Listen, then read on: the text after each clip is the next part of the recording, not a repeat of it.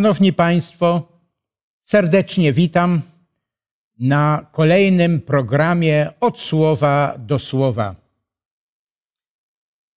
Tematem dzisiejszego programu są, jest tytuł Pieśń Mojżesza i Baranka. Taki dość oryginalny, ale wierzę, że Państwa zainteresuje.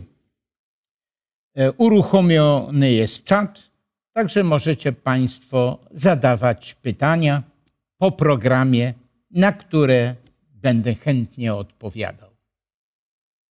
Proszę Państwa, z czym kojarzy się Państwu e, określenie apokalipsa?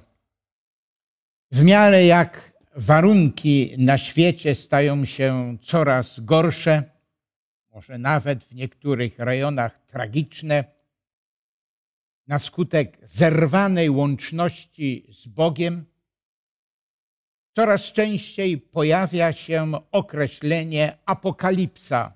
To pochodzi od greckiego słowa apokalipsis, to znaczy mm, objawienie, objawienie czegoś.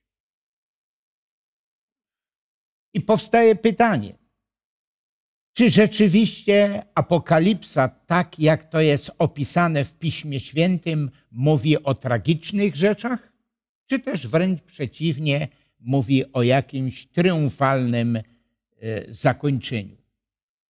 E, to słowo Apokalipsa, czy ten tytuł Apokalipsa, e, jest nazwą ostatniej księgi Pisma Świętego. No i powstaje pytanie, co nam objawia ta ostatnia księga, Apokalipsa? Bardzo często ludzie kojarzą to z jakimiś tragicznymi tylko rzeczami, potwornymi rzeczami. To prawda, że te rzeczy się dzieją i będą się niestety działy, ale chciałem podkreślić, że Apokalipsa nie omawia, nie wspomina tylko tych tragicznych rzeczy, ale mówi o triumfalnym zakończeniu dziejów świata. Możemy kilka myśli e, przeczytać ze Słowa Bożego właśnie z tej księgi mm, Apokalipsy. Siódmy rozdział wiersz dziewiąty, dziesiąty, trzynasty, czternasty przeczytam.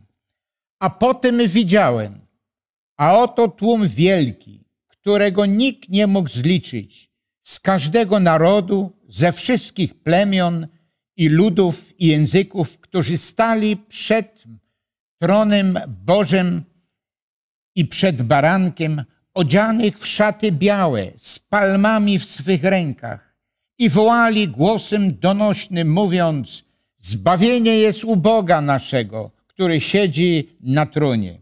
I odezwał się jeden ze starców i rzekł do mnie: Któż to są ci przyodziani w szaty białe, skąd przyszli? I rzekłem mu: Panie mój, ty wiesz. A on rzekł do mnie: To są ci, którzy przychodzą z wielkiego ucisku i wyprali szaty swoje i wybielili je we krwi baranka. Obraz triumfalny, zakończenie mm, dziejów świata.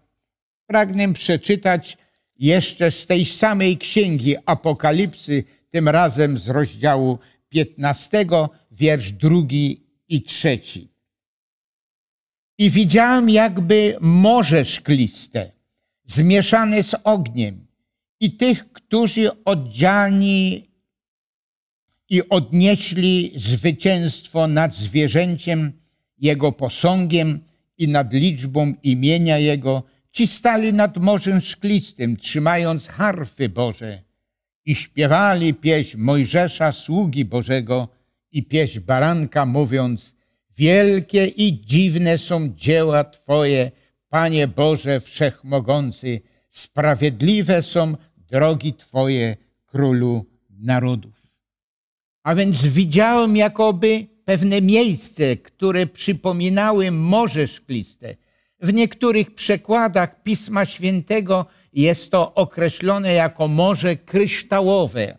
Skąd to porównanie? Przede wszystkim ten ostateczny czy finalny triumf e, ludu Bożego, zbawionych dzięki krwi Jezusa Chrystusa, jest tu podkreślone, widziałem jakoby morze szkliste. To nie jest powiedziane, że to miejsce, gdzie ci zwycięzcy stali, e, że to było morze szkliste czy morze kryształowe, bo czytamy, że jakoby apostoł Jan te ostatnie chwile swojego życia spędzał na skalistej wyspie Patmos. To, była, to był pewien rodzaj więzienia. Apostoł Jan był skazany na śmierć przez no, zrzucenie go do gotującego się, gotującej się oliwy, ale czytamy, to mu nie zaszkodziło. I zastanawiali się, skoro egzekucja no, nie stała się faktem, co zrobić? A i wtedy postanowiono e, zawieźć go na tą skalistą, skalistą wyspę Patmos. Uważali, że tam ten ponad 80 lat mający apostoł tam padnie niczym stara nadłamana gałęź. A właśnie wtedy, tam pod koniec swojego życia, kiedy ludzie spodziewali się, że to jest koniec apostoła Jana, właśnie wtedy Bóg go wykorzystał do przedstawienia wspaniałych rzeczy, które są w księdze Apokalipsy, albo też nieraz określone jest jako księga objawienia, objawienie pewne, pewnych rzeczy. Apostoł Jan znajdował się na tej skalistej wyspie Patmos. To gdzieś było około 80 kilometrów od wybrzeży zachodnich Azji Mniejszej, dzisiejszej Turcji. I tęsknym wzrokiem spoglądał tam e, na wybrzeże, tam gdzie znajdowały się zbory, wśród których pracował zbór efeski. I tam zostało mu coś przedstawione, coś o, zobrazowane. Ostateczny triumf ludu Bożego. E, no i czytamy, że widział to miejsce, które przypominało, tak jak apostoł Jan często stał na wybrzeżu Morza Egejskiego, e, kiedy Morze Egejskie lekko pofalowane, e, następnie promieniach, skąpane w promieniach zachodzącego słońca. I to właśnie przypominało mu, czy było jakimś obrazem tego, co w wizji proroczej zostało mu przedstawione. I czytamy, że widział tam lud zbawiony. A więc Księga Apokalipsy to nie tylko straszne rzeczy, ale Księga Apokalipsy to również opis wspaniałych rzeczy, triumfalnego zakończenia wielkiego boju i triumfalnego zakończenia ludu Bożego. Czytamy, że mm, to są ci, którzy odnieśli zwycięstwo nad największymi potęgami, jakie w czasie końca będą szalały. Jest powiedziane, że odnieśli zwycięstwo nad zwierzęciem. W niektórych przekładach Biblii jest to powiedziane nad bestią, czyli jakimś drapieżnym zwierzęciem, które było obrazem pewnych potęg. Dalej jest powiedziane jego posągiem, no i nad liczbą jego imienia. Ci stali tam w tym e, miejscu, w tym, filna, w tym finalnym wydarzeniu, no i trzymając harfy Boże, palmy w rękach, co jest symbolem no, rzeczywiście zwycięstwa. Proszę Państwa, nie chciałbym w tej chwili wyjaśniać na temat tego zwierzęcia, na temat jego obrazu, na temat liczby jakiejś szczególnej, tajemniczej. Y, może to przy innej okazji będziemy, będziemy czynić. Ale jedno, co chciałem podkreślić, jest to obraz ostatecznego triumfu ludu Bożego. Dlaczego taka symbolika tam jest powiedziane nad liczbą jego? No, kultura ta bliskowschodnia miała między innymi to do siebie, że no, ludzie myśleli obrazowo i dlatego też Bóg do nich przemówił obrazowo. Szczególnie ludzie no, na Bliskim Wschodzie. To dopiero e, no, filozofia grecka nas nauczyła bardziej myśleć abstrakcyjnie. Ale proszę Państwa, dzisiaj z powrotem do myślenia obrazowe, e, obrazowego wracamy. Jeżeli coś nie zobaczymy na filmie, e, w, no, w internecie czy jakimś innym sposobem, to nie bardzo dociera. Czytamy, że śpiewali pieśń, triumfalną pieśń zwycięstwa. Jest powiedziane, że to była pieśń Mojżesza, sługi Bożego i pieśń baranka. Jeżeli chodzi o pieśń baranka, to może nie jesteśmy zaskoczeni tym, dlatego że cały Stary Testament przedstawiał przyjście Mesjasza jako baranka. Ten cały system ofiarny no, wskazywał na Jezusa Chrystusa, który przyjdzie na ten świat i dokona zbawienia.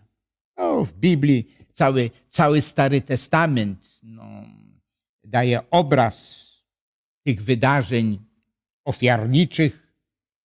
E, również pewne postacie były obrazem na przyszłego Mesjasza. Nie tylko te baranki, nie tylko ten cały system ofiarniczy, ale niektóre postacie.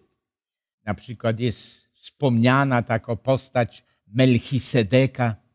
Jest powiedziane, że, że on jest obrazem na przyszłego kapłana. Ale dzisiaj chciałem przede wszystkim podkreślić jedną rzecz, a mianowicie, że jednym z symboli, jednym z obrazów przyszłego Mesjasza jest Mojżesz. I oto czytamy, pod jakim względem Mojżesz był takim obrazem, ludzkim obrazem na przyszłego Mesjasza. Przede wszystkim, gdy myślimy o Mojżeszu, e, to zanim się urodził, na skutek decyzji faraona, i już na niego był wydany wyrok śmierci. W cudowny sposób uratowany. Jest to obraz Jezusa Chrystusa. Jezus Chrystus też przyszedł na ten świat w jakim celu? Aby umrzeć, zapłacić cenę za zbawienie. Gdy tylko się narodził, od razu usiłowano go zniszczyć. Wspominamy z historii postać króla, wielkiego króla Heroda, e, który postanowił zniszczyć przy okazji e, Jezusa Chrystusa i przy okazji też umierały, to co znamy, umierały dzieci betlejemskie. A więc tak jak Mojżesz, zanim się urodził i wypełniał swoją misję, już na niego był wydany wyrok śmierci. Podobnie Jezus Chrystus. Zanim rozpoczął swoją misję, już na niego był wydany wyrok śmierci. Jest to przepięknie przedstawione e, w księdze proka Izajasza, 53 rozdział. To jest wspaniała kantata na cześć Jezusa Chrystusa. 53 rozdział jest powiedziany, Wyrósł bowiem, drugi wiersz, czytam 53 rozdział. Wyrósł bowiem przed nim jako latorość, jako korzeń suchej ziemi. Nie miał postawy ani urody, które by pociągały nasze oczy. Nie był to wygląd, który nam się podobał. Zgardzony, opuszczony, mąż boleści. I dalej jest powiedziane, lecz on nasze choroby nosił, nasze cierpienia wziął na siebie, a my mniemaliśmy, że zraniony przez Boga, zbity, umęczony. Lecz on zraniony za występki nasze, starty za winy nasze, ukarany został dla naszego zbawienia, a jego ranami jesteśmy uleczeni. Tak. On umierał, umarł po to, aby zapłacić cenę za nasze zbawienie. Pod jakim względem również? Pierwsze to, co wspomniałem, że, że Mojżesz, zanim się urodził, już był wyrok śmierci. Jezus Chrystus, zanim pojawił się, zanim narodził się, to już był wyrok śmierci. Faktycznie On przyszedł po to, aby umrzeć za nas. Pod jakim względem jeszcze Mojżesz był podobny do Jezusa Chrystusa? Albo był obrazem na Jezusa Chrystusa. Z drugiej księgi Mojżesza, z księgi tak zwanego wyjścia, w 32 rozdziale czytamy takie słowa. To jest związane e, z, z górą Synaj i odstępstwem narodu. I czytamy, że gdy Mojżesz sobie uświadomił, że ci wszyscy ludzie, tam naród wybrany izraelski, takiego strasznego przestępstwa się dopuścili, czytamy w tym rozdziale 32, wiersz 31 i 32 brzmi następująco. Wrócił tedy, wrócił tedy Mojżesz do Pana i rzekł, oto lud ten popełnił ciężki grzech, bo uczynili sobie bogów ze złota. Teraz racz odpuścić ich grzech, a jeżeli nie, to wymasz mnie ze swej księgi, którą napisałeś. W innych miejscach jest tu podkreślone, no, księgi żywota. Gdy na skutek odstępca ci ludzie mieli ginąć, to co powiedział Jezus Chrystus? Co powiedział Mojżesz, wskazując na Jezusa Chrystusa? Teraz odpuść ich grzech. A jeżeli nie, to wymasz mnie ze swojej księgi, którą napisałeś. Czyli Mojżesz położył na szale wszystko, własne życie. Jeżeli oni mają ginąć, to niech ja umieram za nich. To mnie wymasz z księgi żywota. Proszę Państwa, czy nam to nie przypomina tego, czego dokonał Jezus Chrystus dla naszego zbawienia?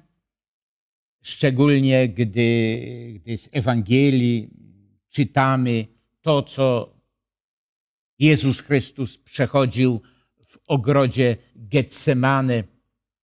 No, błagalnie pytał ojca, czy jest jakiś inny sposób ratowania człowieka. A gdy sobie uświadomił, że nie ma innego sposobu, był gotów położyć swoje życie za tych, którzy na skutek grzechów mieli to życie stracić. To jest to samo, co, czego dopuścił się, czy czego dokonał, czy na co zdecydował się Mojżesz. Teraz odpuść, czytaliśmy 32 wiersz tego, z tego rozdziału, też 32. Teraz racz odpuścić ich grzech. A jeżeli nie, to wymasz mnie ze swej księgi. To niech ja stracę zbawienie, to niech ja stracę życie wieczne, to niech ja stracę wszystko, a ratuj. Przebacz im. To jest przepiękny, przepiękny obraz Jezusa Chrystusa. No, czytamy również, że Mojżesz, który no, przeszedł dzięki Bożej interwencji przez Morze Czerwone, no to gdy przeszli przez Morze Czerwone, a wcześniej wybawieni z Egiptu, no to piętnasty rozdział drugiej księgi Mojżesza opisuje wspaniałą pieśń zwycięstwa. Jest to jakiś obraz tej pieśni zwycięstwa, która będzie śpiewana wtedy, kiedy wielki bój się zakończy i będziemy zabrani do Królestwa Bożego i tam, jak czytaliśmy, w tym miejscu, które jakoby morze kryształowe stali i śpiewali pieśń zwycięstwa. Tak jak Mojżesz śpiewał mm, e, pieśń zwycięstwa, tak zbawieni również śpiewali pieśń zwycięstwa. Proszę Państwa, w liście Piotra, w drugim liście Piotra i w rozdziale, w rozdziale pierwszym czytamy takie piękne słowa. Boska to jest drugi list Piotra, pierwszy rozdział, wiersz trzeci, czwarty i dziesiąty będę czytał. Boska Jego moc obdarowała nas wszystkim, co jest potrzebne do życia i pobożności, przez poznanie tego, który nas powołał przez własną chwałę i cnotę. Tutaj mi się jedno słowo ogromnie podoba, że Jego boska moc, że Bóg, że Chrystus obdarował nas wszystkim, czyli obdarował nas wszystkim. To podoba mi się bardzo to słowo. To nie jakaś część tylko dla zbawienia.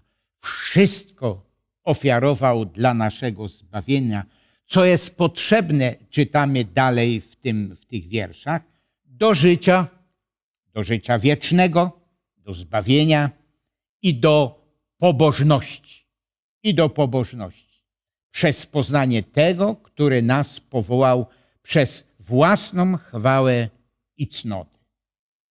Przez które darowane nam zostały drogie i największe obietnice abyście przez nie stali się uczestnikami boskiej natury. Kolejne wspaniałe słowa, że dzięki temu, co Chrystus dla nas dokonał, zapłacił, umarł za nasze winy, e, to po to, jak czytamy w wierszu czwartym, czytaliśmy, abyśmy stali się uczestnikami boskiej natury uniknęli, uniknąwszy skażenia, jakie jest na tym świecie, które między innymi Apokalipsa też opisuje. I następnie dziesiąty wiersz. Dlatego, bracia,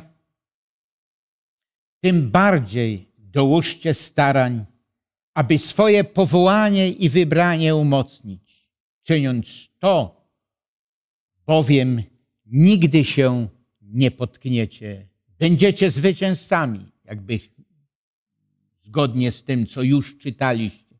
Będziecie stali tam e, e, w, w domu Ojca, w Królestwie Bożym i śpiewali pieśń zwycięstwa.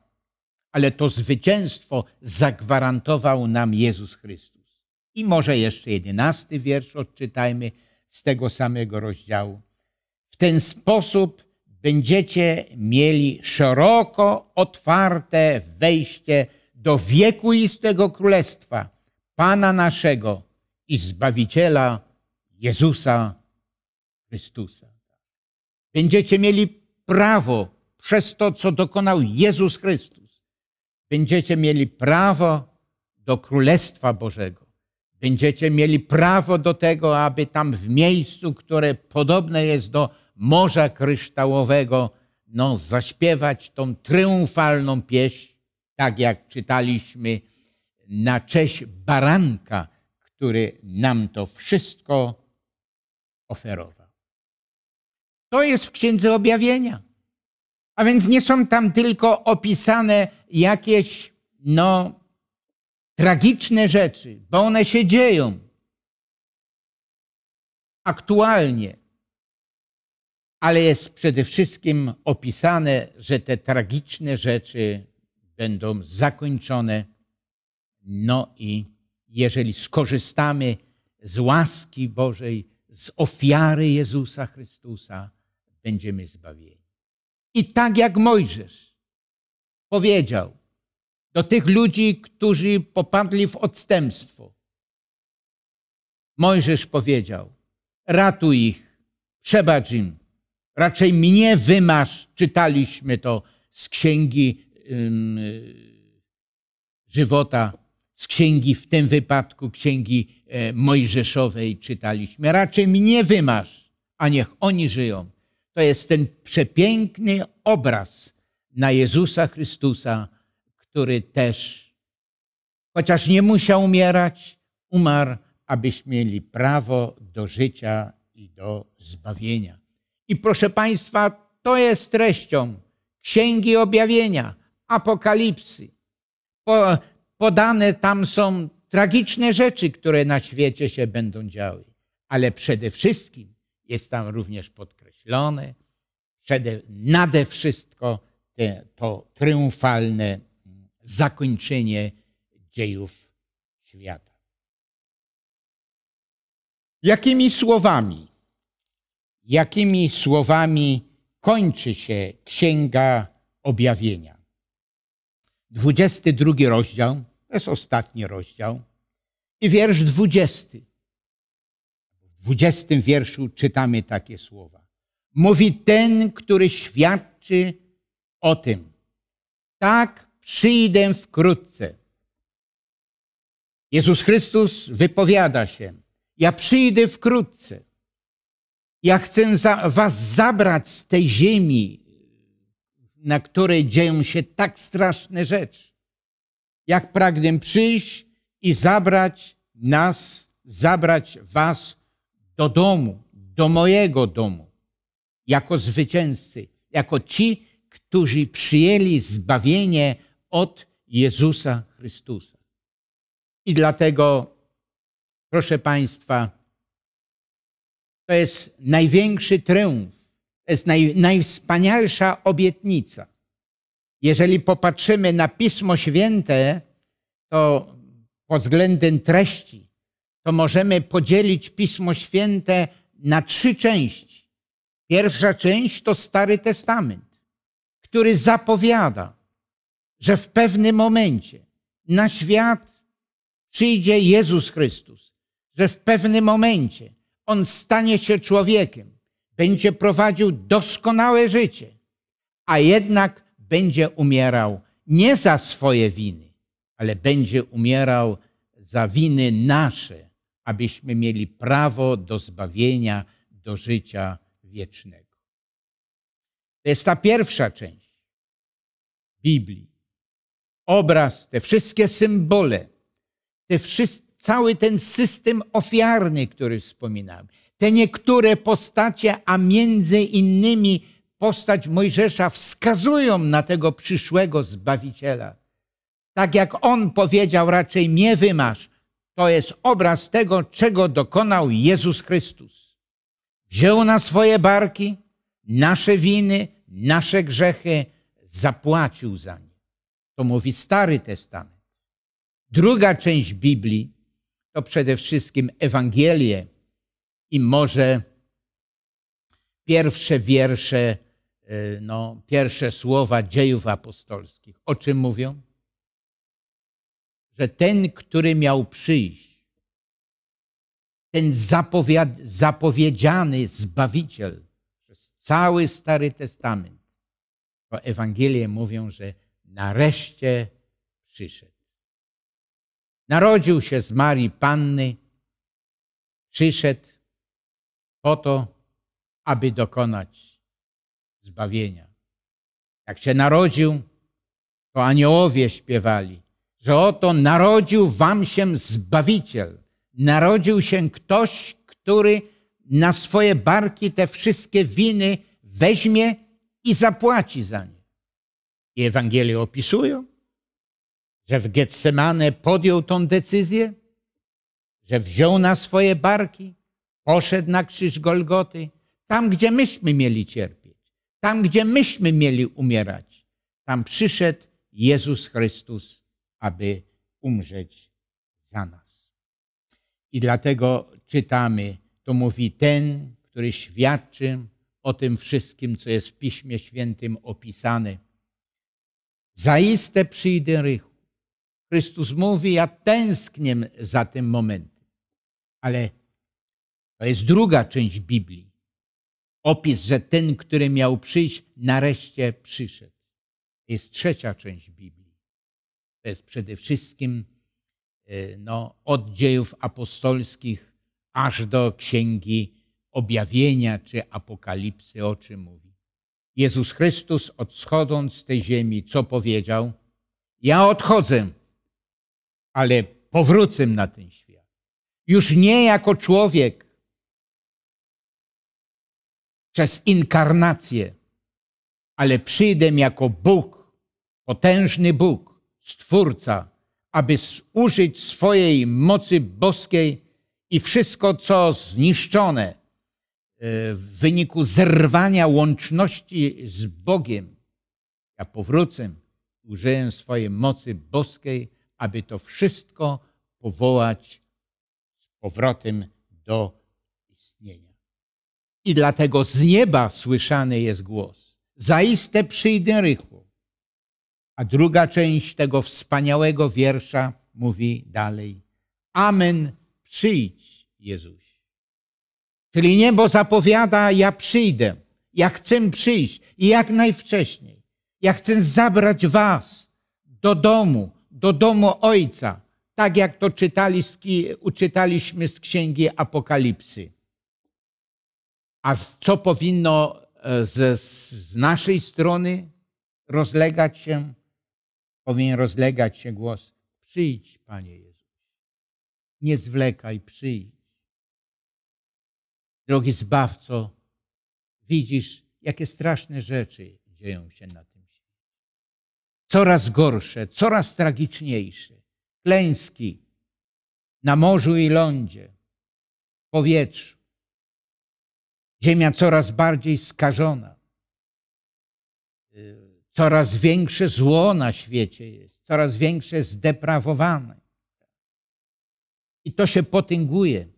Proszę Państwa, ja nie chcę tu być jakimś ponurym przepowiadaczem złych rzeczy, ale wiedzmy jedno, na skutek tej zerwanej łączności z Bogiem na świecie dzieją się i będą się działy jeszcze tragiczniejsze rzeczy. Jedyne rozwiązanie problemów świata nie leży w możliwościach ludzkich, nie leży w jakimś innym, innych możliwościach, ale jedynie jest powrót Jezusa na ziemię jako Boga, jako Stwórcy, aby użył swej boskiej mocy aby wszystko na nowo uczynić. Czyli przywrócić to, co było na początku, a co przez grzech zostało zdeprawowane, aby z powrotem przywrócić. I dlatego, Szanowni Państwo, naszym życzeniem, naszym pragnieniem powinno być, naszym celem powinno być, jak słyszymy czytamy pisma, z Pisma Świętego te słowa, zaiste przyjdę, ja przyjdę. Ja nie pozostawię e, tej ziemi w takim stanie. Ja nie po to umierałem za człowieka, ale umarłem po to, aby ludzie mogli skorzystać ze zbawienia. Ja przyjdę. I dlatego z naszej strony powinien rozlegać się ten głos. Przyjdź, Panie Rychu. Widzisz te nieszczęścia, które są na świecie. Widzisz coraz bardziej potęgujące się choroby i wiele jeszcze innych rzeczy. Gdybyśmy chcieli dzisiaj wymieniać to wszystko, co będziemy się, co się będzie działo, to moglibyśmy to bardzo długo wymieniać. I dlatego pragnę właśnie z tej księgi Apokalipsy którą ludzie niektórzy widzą jako, jako obraz nieszczęść. Pragnę przeczytać, jak będzie wyglądała no, ta ziemia, gdy Chrystus powróci i użyje swej mocy boskiej, jak ona będzie wyglądała. Czytam z Apokalipsy, z objawienia, 21 rozdział i wiersz pierwszy aż po czwarty. I widziałem nowe niebo i nową ziemię, albowiem pierwsze niebo i pierwsza ziemia przeminęły, a morza już nie ma. I widziałem miasto święte, nowe Jeruzalem, wstępujące z nieba od Boga, przygotowane jak przyozdobiona oblubienica dla swego męża.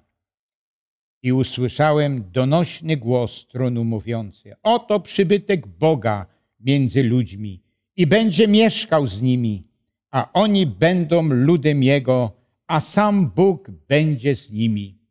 I wspaniały wiersz czwarty. I otrze wszelką zę z oczu ich, a śmierci już nie będzie, ani smutku, ani krzyku, ani mozołu już nie będzie, albowiem pierwsze rzeczy przeminęły. Co za wspaniały opis. I to jest zawarte w Księdze Objawienia, w Księdze Apokalipsy. A więc tam nie są tylko przedstawione straszne rzeczy, ale przedstawione jest finalne wydarzenie. Czytamy, czytaliśmy, pozwólcie Państwo, że to jeszcze raz przeczytam i otrze wszelką zem z oczu ich. I śmierci już nie będzie, ani smutku, ani krzyku, ani mozołu już nie będzie, albowiem te rzeczy przeminą raz na zawsze.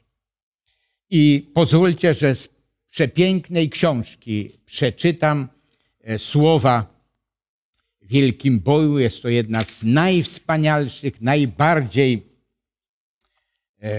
najczęściej cytowana i studiowana e, księga, e, a mianowicie czym się kończy ta księga opisująca wielki bój. Wielki bój skończył się. Jest na stronie 466. Wielki bój skończył się. Nie ma już grzechu ani grzeszników. Wszechświat jest nieskalany, panują w nim pokój i radość. Od tego, który wszystko stworzył, wypływa życie, światło, szczęście na całą nieograniczoną przestrzeń.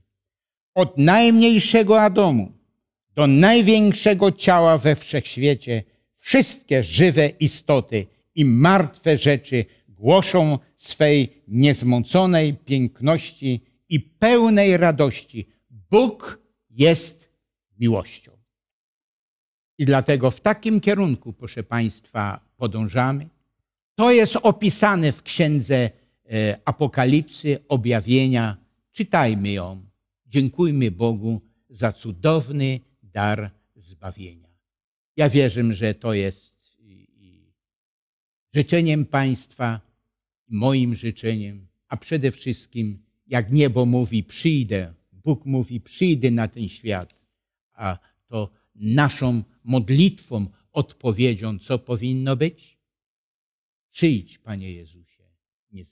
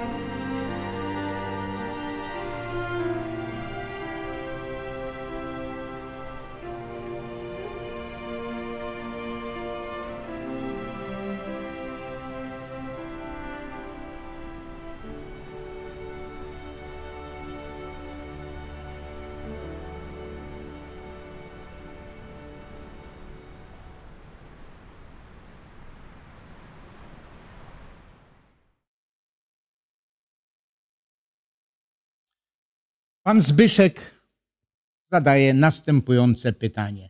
Skąd pastor wziął opis wrzucenia Jana do wrzącego oleju? Dziękuję bardzo za to pytanie.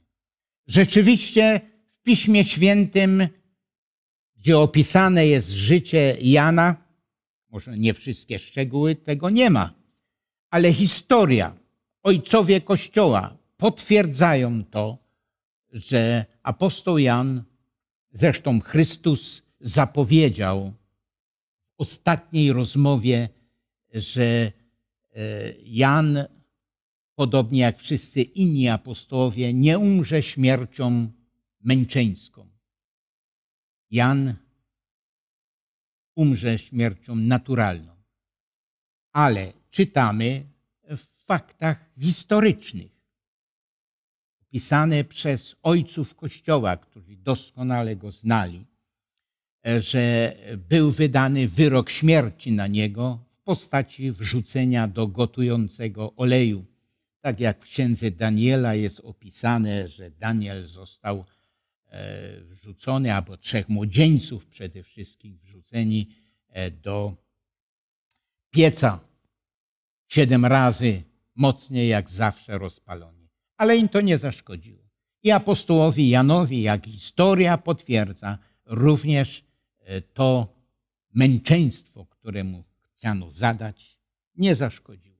I dlatego skierowano go później, bo to nie wypadało. Prawo rzymskie, jeżeli e, była egzekucja i jeżeli egzekucja nie została wykonana, to już drugi raz wyroku śmierci nie wydawano i dlatego apostoła Jana skierowano na wyspie Patmos.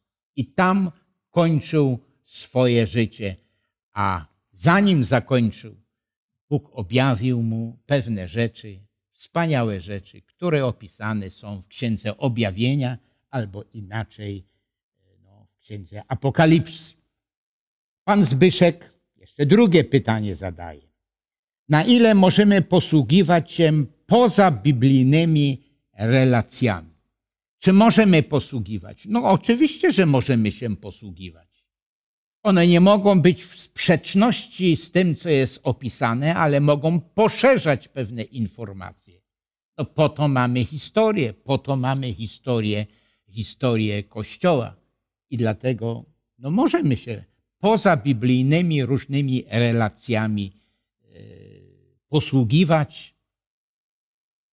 No i dlatego posługujemy się. I dlatego też Biblia się kończy na postaci e, apostoła Jana, ale przecież dzieje chrześcijaństwa, ludu Bożego nie kończą się, nie kończą się wraz z śmiercią Jana, ale są kontynuowane. A skąd je znamy? No znamy z historii. Dobrze, następne pytanie. Dziękuję bardzo za te pytanie. Pan Marcin zadaje pytanie, czy Jezus też umarł za nasze e, przyszłe grzechy? Możemy krótko powiedzieć. Jezus Chrystus umarł za grzechy całego świata. Jan Chrzciciel, gdy ochrzcił Jezusa Chrystusa, e, to następnie, następnego dnia wskazał na Jezusa Chrystusa, który tam również przybył, tam gdzie chrzest był dokonywany. Oto prawdziwy, oto prawdziwy baranek, który gładzi grzech świata. Tu jest określenie grzech świata. Tu nie jest powiedziane grzechy, jakieś wybrane grzechy, tylko niektórych ludzi.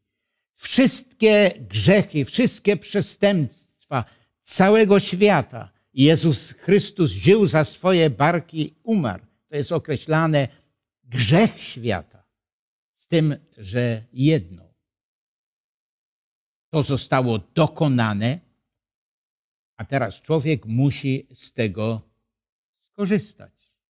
Bóg zapłacił, a przez wiarę musimy to przyjąć. Ja nieraz studentom to tak prosto wyjaśniałem, to tak jak dzisiaj bardzo łatwo jest, bardzo łatwo jest no, zaciągnąć kredyty, e, no, pożyczki, no a tak trudno się potem spłaca. Jakie jest wyjście? Jak nie jestem w stanie zapłacić, do śmierci byłbym dłużnikiem ale może stać się coś, oby tylko tacy ludzie byli, którzy powiedzą, którzy oświadczą. Słuchaj, ty się z tym nigdy nie uporasz, ale te wszystkie długi przerzuć na moje, na moje konto, a ja się z tym bardzo łatwo rozprawię. A ktoś powie, no dobrze, ale mnie to nie ciekawi. Ja nie chcę tej łaski ma możliwość, że długi będą e, no, spłacone. Ale jeżeli ktoś z tego nie skorzysta, jego wina. Jezus Chrystus zapłacił za wszystkie grzechy. Ale jeżeli zgardzimy tym, zlekceważymy to, no to wynik tego będzie jaki? No, że Sami na siebie wydajemy wyrok. Także Jezus Chrystus umarł za grzechy świata, ale jedynie musimy no, skorzystać z tego, przyjąć przez wiarę tą zapłatę. E, kolejne pytanie. Pan Sebastian zadaje pytanie, czy 144 tysiące i wielki tłum to ta sama grupa? Jeżeli nie, to jakie? W Apokalipsie 14 rozdziale i pierwszym wierszu e, mowa jest o baranku i o 144 tysiącach. Dlaczego nie ma mowy o wielkim? Proszę Państwa, jest mowa. Właśnie w tej księdze Apokalipsy, w rozdziale, w rozdziale siódmym czytamy, pozwólcie Państwo, że e, otworzę i przeczytam. Siódmy rozdział, pierwszy wiersz. E, takie słowa opisane są. Czwarty wiersz przeczytam. I usłyszałem liczbę tych, których opatrzono pieczęcią. 144 tysiące opieczętowanych ze wszystkich plemion izraelskich. No i apostoł Jan rozgląda się, gdzie jest te 144 tysiące.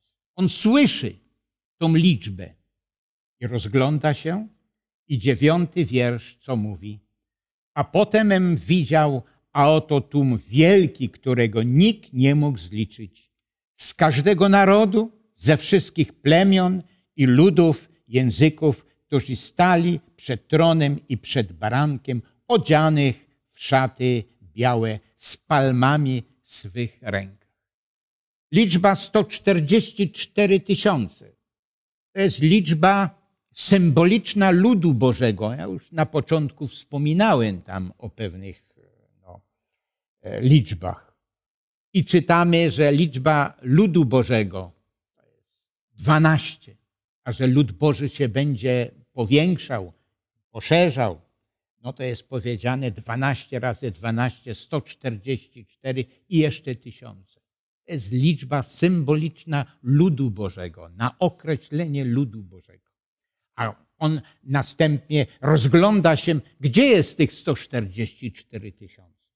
I czytamy, widziałem wielki tłum, którego nikt nie mógł zliczyć. Dlatego 144 tysiące jest liczbą symboliczną, a która oznacza, co oznacza? Dziewiąty wiersz, mówi tego samego rozdziału. A oto tłum wielki, którego nikt nie mógł zliczyć z każdego narodu, wszystkich plemion. Tak Także możemy postawić znak równości między tą grupą oznaczoną symboliczną liczbą 144 tysiące, a wielkim, wielki tłum. Następnie również pan Sebastian stawia pytanie czy wielki tłum, czy wielki tłum śpiewa nową pieśń? Jeżeli nie, to dlaczego? Tak, wielki tłum śpiewa nową pieśń. To jest pieśń zwycięstwa. I ona będzie dopiero śpiewana, kiedy, kiedy zwycięzcy po powtórnym przyjściu zabrani do domu Ojca i staną, tak jak czytaliśmy, E, w tym miejscu, które jest podobne do Morza Kryształowego. No i, i tam będziemy śpiewali jako zwycięzcy e, pieśń. Nową pieśń. Niektórzy 144 tysiące rozumieją, to również pan Sebastian zadaje to pytanie, niektórzy 144 tysiące rozumieją dosłownie. Czy pastor zgadza się z tym?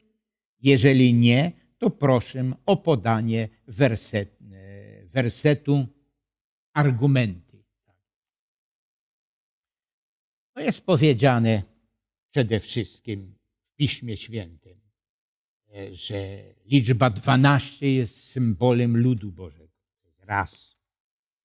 No i że ten lud Boży się będzie poszerzał a następnie, gdy ktoś rozglądał się, no to zobaczył tłum wielki, którego nikt nie mógł zliczyć. Dwie rzeczy są nam w Piśmie Świętym nieobjawione. Może więcej, ale dwie takie szczególne. Pierwsza rzecz, która nie została objawiona, to jest czas powtórnego przyjścia. Po znakach mamy poznawać, czy to wydarzenie jest bliskie, czy jest bardzo e, odległe. Ale Jezus Chrystus w 24 rozdziale Ewangelii Mateusza, że dnia ani godziny przyjścia Jezusa Chrystusa nikt nie zna. Jest to tajemnica Boża. Po znakach możemy tylko rozpoznawać, czy to wydarzenie jest bliskie, czy odległe. Druga rzecz, która nie jest nam e, objawiona, znana, liczba zbawionych. To w pewnym momencie w Starym Testamencie Dawid próbował obliczać e, no, lud. Starym Testamencie tym ludem Bożym był naród izraelski. Było to bardzo negatywnie przyjęte. I tam było podkreślone, nie będziesz liczył mojego ludu. I dlatego też ten lud określony jest tym symboliczną liczbą 144 tysiące. Ale później, jak ktoś rozglądał się za tą liczbą, no to czytamy słowa, że e, nikt nie mógł zliczyć tego ludu. Dziękuję bardzo za te pytania. Jeszcze dwa pytania mam. Co to znaczy, że staniemy się uczestnikami boskiej natury? Ktoś by mógł pomyśleć, że staniemy się bogami. Nie, tu nie jest powiedziane, że staniemy się bogami, tylko staniemy się uczestnikami boskiej natury. To znaczy, będziemy podobni do Boga. Nie staniemy się bogami, ale cechy, jakie Bóg ma, te same będą nam oczywiście e, udzielone. Tu nie jest powiedziane, że staniemy się bogami, ale cechy boskie, miłość i tak dalej, czytaliśmy, że Bóg jest miłością, no, będą e, tymi, które odziedziczymy przez łaskę Jezusa Chrystusa. I jeszcze jedno pytanie. Pan Marcin zadaje, jaką możemy mieć pewność powrotu Jezusa Chrystusa? Jaką możemy mieć pewność powrotu Jezusa Chrystusa? No bo Chrystus powiedział, tak jak była w Starym Testamencie zapowiedź, że Jezus Chrystus przyjdzie na świat, narodzi się jako człowiek wtedy, aby mógł umierać za grzechy świata. To Jezus Chrystus odchodząc z tej ziemi powiedział, odchodzę, ale powrócę, aby się nie smucić. Całe Słowo Boże, e, Biblia przede wszystkim, a szczególnie Nowy Testament e, zapowiada powrót Jezusa Chrystusa na ziemię. Szkoda tylko, że może nie wszyscy chrześcijanie e, oczekują tego największego wydarzenia, które należy jeszcze do przyszłości. I tak jak już powiedziałem, po pewnych wydarzeniach, po pewnych znakach możemy wiedzieć, czy to jest bliskie, czy odległe. I warto studiować te rzeczy i wiedzieć, że żyjemy w czasie eschatologicznym, żyjemy w czasie, w którym możemy się spodziewać powrotu Chrystusa, ale dnia i godziny nikt nie zna. Ludzie zawsze mieli tendencję taką, to znaczy tendencję żeby próbować obliczać. To jest niebiblijne i nie ma żadnego dowodu potwierdzającego na to. Dziękuję bardzo za pytania. Widzę, że już nie ma więcej pytań. Dlatego dziękuję za te pytania. No i życzę wiele Bożego błogosławieństwa a przede wszystkim tego, abyśmy mogli stanąć w tym miejscu, które podobne jest do Morza Kryształowego i zaśpiewać pieśń zwycięstwa. A przede wszystkim módlmy się o to, aby Jezus Chrystus jak najwcześniej przyszedł. Módlmy się. Na wielki, nasz wielki, wspaniały Boże, dziękujemy Ci za to, że stworzyłeś tą ziemię na radość, na szczęście, A gdy przez zerwanie łączności z Tobą te wszystkie rzeczy utraciliśmy, staliśmy się poddani śmierci i wszystkim nieszczęściom, które nas dotykają. Ale szczególnie dziś wieczorem pragniemy Ci ponownie podziękować, że zadecydowałeś, aby przyjść na ten świat, umrzeć za nasze winy, abyśmy my nie musieli umierać. Dlatego jest tak ważne, abyśmy skorzystali z tej łaski wyjednanej dla nas przez krew Jezusa Chrystusa, przez zbawienie. A szczególnie w tej chwili chcemy też prosić, Panie, przyjdź jak najwcześniej. Widzisz, co dzieje się na świecie, jakie nieszczęście, które się potęgują. Dlatego przyjdź i uczyń nowe niebo, nową ziemię. Tak jak czytaliśmy, Twoje słowa, gdzie nie będzie płaczu, łez, narzekania. Niech za ten wielki dar zbawienia będzie imię Twoje uwielbione i z tęsknotą, abyśmy oczekiwali tych wielkich rzeczy, które już są tak blisko przed nami. Dziękuję tym wszystkim, którzy wysłuchali i życzę wiele, wiele Bożego błogosławieństwa. Amen.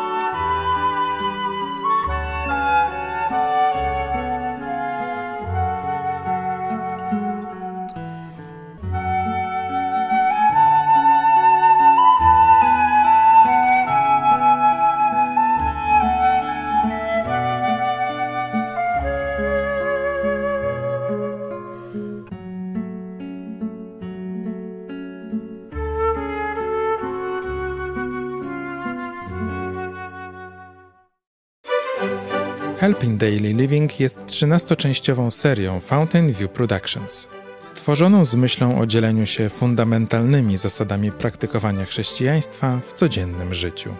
To prosta droga, aby zapoznać z mocą Ewangelii Twoich przyjaciół, rodzinę czy współpracowników. Zdobądź te materiały dzwoniąc pod numer telefonu widoczny na ekranie, bądź zamów je na naszej stronie internetowej.